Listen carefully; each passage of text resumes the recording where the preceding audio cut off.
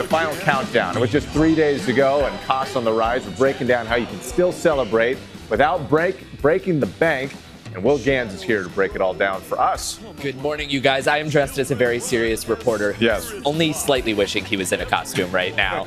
we told you about this year's most viral Halloween decoration. His name is Lewis. But he's not the only one taking spooky season seriously this year. What are you? A monk? I'm a Sith Lord.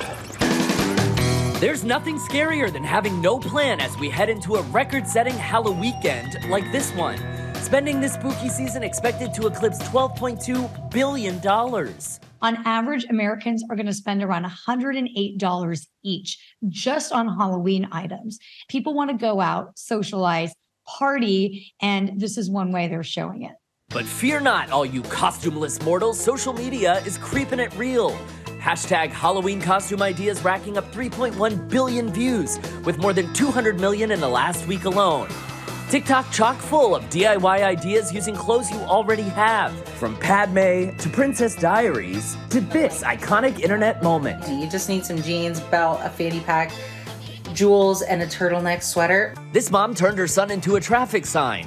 Or how about wrapping yourself in aluminum foil and going as a burrito? Or grab a black tee, a fake mustache, and a bad attitude, and presto, instant Scandoval. I don't know how it happened. It just, it happened.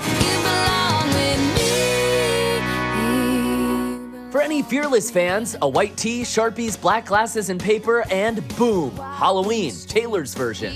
If DIY isn't your thing, scary good costume deals are still available. Amazon offering discounts on costumes from T Rex to Batman to a Toy Story alien. And maybe most importantly, sweet deals on sweet treats.